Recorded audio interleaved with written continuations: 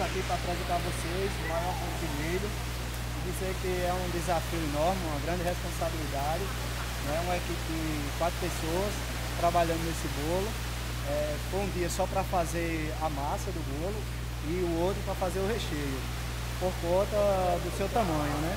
Isso aí, e dizer para vocês que vem aqui provar, comprovar a delícia do bolo de milho, o maior bolo de milho do mundo, tá ligado? É um desafio grande. É verdade. É um grande desafio, uma responsabilidade muito grande, né? Porque é uma coisa que não é todo dia que você faz um bolo desse tamanho, né? Realmente é uma grande responsabilidade.